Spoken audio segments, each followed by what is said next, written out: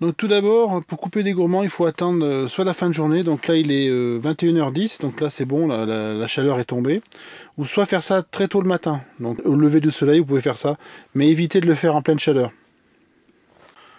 Donc ce qu'on va commencer par faire, c'est tailler les gourmands qui sont à la base du pied de tomate, car c'est des gourmands qui vont, vont toucher la terre et qui vont favoriser le mildiou et ce qui fait que ça va donner la maladie à tout le pied de tomate et tuer la tomate. Donc on va couper d'abord les gourmands de la base du pied. Alors pour cela je prends un couteau basique, je coupe comme ça. Tac. Il faut pas que ça soit euh, déchiré sur la tige, il faut que ça soit coupé franc. Donc je fais celui-là aussi. Voilà.